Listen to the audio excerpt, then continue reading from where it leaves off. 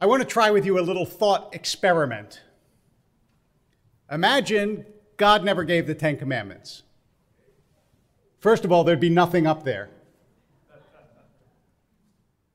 But second, do you think that if God never gave the Ten Commandments, people would go around saying, you know what, murder is fine, stealing is good? I don't think so. In fact, we sort of know that's not the case. Because at the beginning of the Bible, Cain kills Abel. And it's clearly wrong, but God hasn't given the Ten Commandments yet. Not only that, but there are lots of parts of the world that you know of where the Ten Commandments have really no influence. Other cultures that weren't touched by Jewish culture, and yet even there, they think murder is a bad thing. So tell me, why is it when God gave the Ten Commandments that Israel didn't just go, no kidding? Or if they were less polite, they could just go, duh. But I guess you don't say that to God. I think that what we are supposed to understand is two things from the Ten Commandments one that makes a general sermon, and one that is particularly important this week. The general idea is that God wants us to know that don't murder isn't a human rule. It's the kind of thing that can never be right to kill innocent people deliberately, which is what murder is. It's not right to do in Nazi Germany in 1940, and it's not right in ancient Israel in 12 or 1300 BCE. In other words, it's woven into the fabric of the universe. It's not just that we know it's a bad thing and it's not good and it's going to cause a mess. It's always wrong everywhere, at every place, at every time, because the master of the universe created the world that way.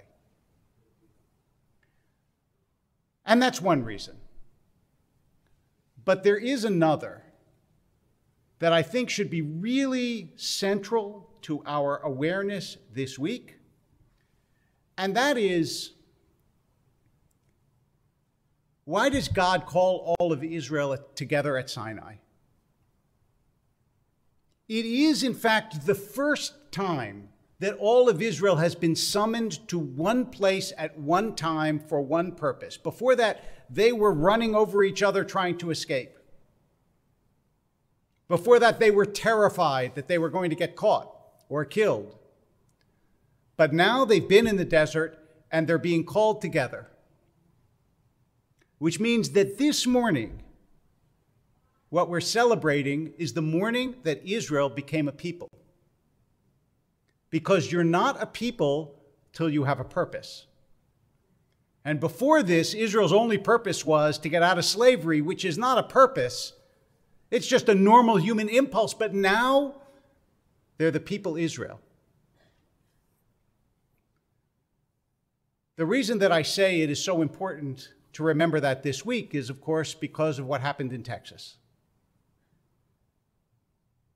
It reminds us that for thousands of years, there have been people in this world whose mission was to prevent us from living our purpose. It reminds us that to be Jewish has always been countercultural and offensive to people who don't like to be told the things that are carved on that ark.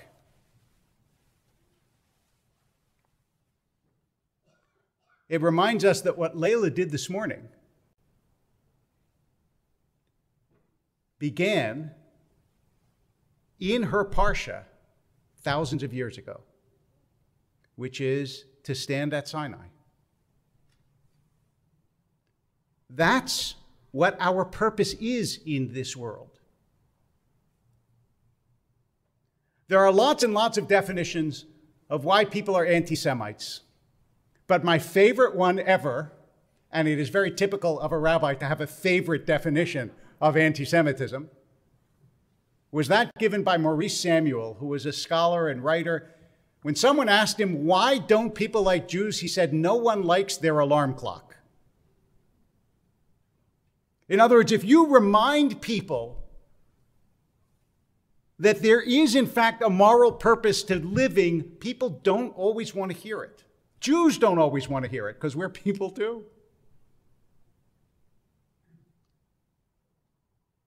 But we repeat it again and again and again. It is carved on the ark, it is written in the Torah.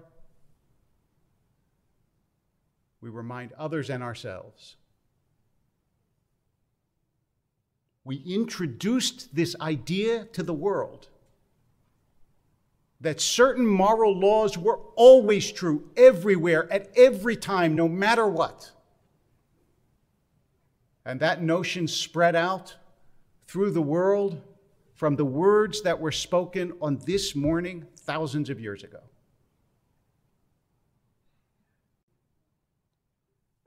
The fact that so many years later there are still people who want to destroy those who enact those words tells you just how powerful those words are.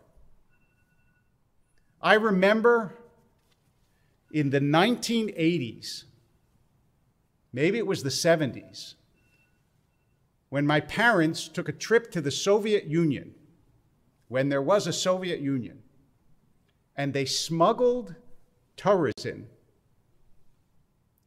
And I remember my father saying to me, This shows you how powerful this book still is, that a nuclear power in the 20th century is still afraid that people will see it.